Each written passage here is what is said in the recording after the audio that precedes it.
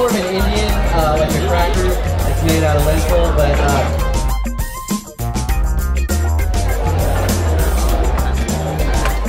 and, uh, and then you're doing some vlogging now for this, the next season of Top Chef,